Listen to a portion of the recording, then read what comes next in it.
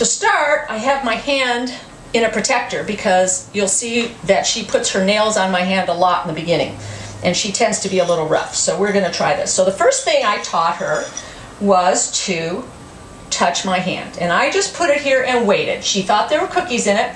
And then, there you go. She touched my hand. Good girl. And I rewarded her for it. All right? Ready? Put my hand back again. Good girl. There's the treat. That's the first step in getting her to cross her legs. Whoops. All right, now the next step I used is I'm going to start moving my hand from the right to the left. Okay, ready? Wait, Bonnie. We're going to show them how to do it.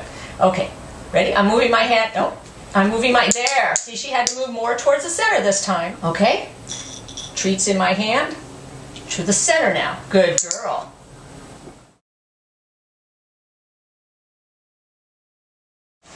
And then I'm going to move my hand on top of her other paw. Good girl. Just gradually getting her to move this paw over to the other side.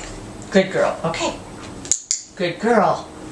If you're not using a clicker, you can just say good girl. I'm saying both.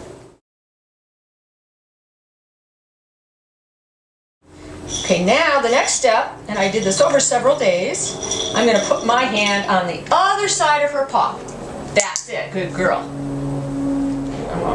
Paw way over there. She put her paw over there, but she pulled her leg out. There. You want her to keep this leg still and cross this. Sometimes she pulls that leg under. Okay, good girl. You're still there.